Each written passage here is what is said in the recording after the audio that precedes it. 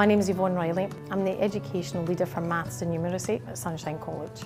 We've got some pretty specific differences at Sunshine College that set us apart. The main one is that students choose the work that they think is right for them. So the teachers work in a team to create activities across multiple levels and then the students choose the level that they think is right for them. And what this has done is this has developed cohorts of kids who are really independent learners and motivated to do well. Probably the most significant change in what's happened to the students at the school is that their belief in what they can achieve in maths has completely changed. In terms of becoming an ambassador for education for Victoria, Sunshine College already does this. It does it really well. We share everything that we have. We're really active and proactive in getting teachers out to present at conferences, to write papers, to deliver PD.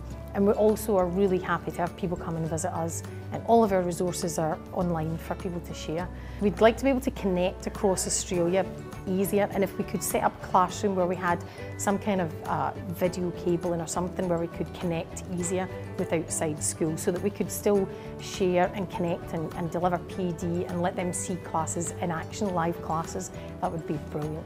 Everything about my job is rewarding. The kids are better at maths, the maths teachers enjoy working in the maths classrooms, they enjoy working with each other, they get a great sense of satisfaction of developing tasks that they can see generate learning in students.